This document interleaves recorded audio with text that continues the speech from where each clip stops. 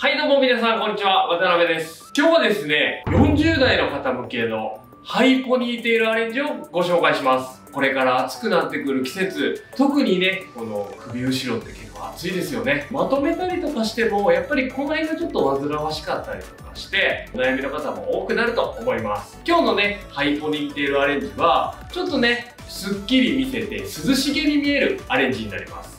なので、まあ夏のね、えー、サマーワンピースとかに合わせやすいアレンジになってますので、ぜひ皆さん参考にしてみてください。ポイントとしては3つあって、まず1つ目は髪の毛をね、上下に分ける。そうすることによってね、襟足のたるみがなくなります。2つ目がトップにボリュームを出す。ここをね、ボリュームを出すことによってバランスが綺麗な形になります。最後に3つ目が毛先の束感です。アイロンだったりとかね、こうスタイリング剤でしっかりと束感をつけることによって、より涼しげになります。それでは早速動画をどうぞまず、ロックオイルをつけていきます。全体的につけて髪の毛をまとめていきます。特に顔周りだったりとか襟足の部分はしっかりとつけるようにしてください。次にストレートアイロンで巻いていきます。お好みで大丈夫ですので毛先をたりとか内に巻いて髪の毛がまとまるような状態になれば OK ですので毛先だけ巻くようにしてください。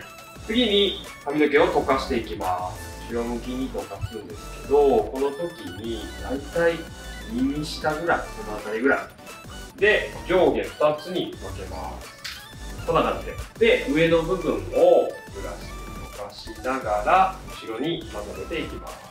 だいたい顎から上がってきてこの延長線上に髪の毛をまとめるようにしてで少しこのトップの部分ペタッとなりやすいので持ちながらこの手を熊手にした状態でトップにボリュームを出します。でまずここでゴムで結んでいきます。でまあこの高さのバランスを整えたら次に下の髪の毛をブラシで溶かして上に持っていきます。で上に持っていったらもう一度上で全て合わせてゴムで結んでいきます。あとは毛先の部分を、まあ、巻いた部分をこう束感を出してバランスを整えていきます。ちょっとねこうつまみながらバランスを整えていけば OK です。でこの一番ポニーテールのこの一番上の部分ですね。の部分を少し高さを出してあげるとバランスが。良くなりますなのでここはちょっと膨らますような感じで整えてあげるといいかと思います。襟足の部分だったりとかこの辺のたるみがなくて綺麗にまとまってればこんな感じで完成です。